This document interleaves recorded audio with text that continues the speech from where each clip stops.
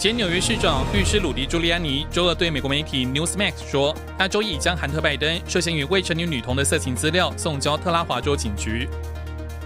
南韩二十一日再传施打流感疫苗后死亡案例，截至目前，南韩共有九人接种流感疫苗后死亡，引发南韩社会对于疫苗安全性的忧虑。不过，南韩疾病管理本部强调，目前尚未理清流感疫苗与死亡案例之间是否有因果关系。台湾疫情指挥中心指挥官陈时中则表示，南韩民众施打的疫苗跟台湾不一样，请民众放心。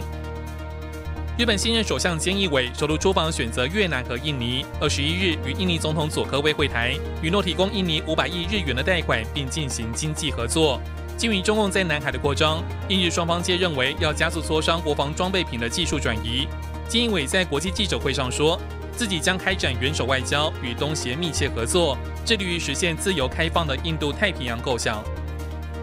成群的鹿是日本奈良县的观光特色，但鹿不时因为误食人类留下的垃圾而死亡。所以将奈良在地企业开发以牛奶盒和米汤做成的鹿纸袋，即使被鹿误食也不会致死。但有日媒近日发现，奈良市奈良公园的鹿群因为肺炎疫情少了观光客喂食鹿饼，许多鹿只回归野性吃草，对鹿饼不再感到兴趣，有人喂也转头不吃。新唐亚太电视整理报道。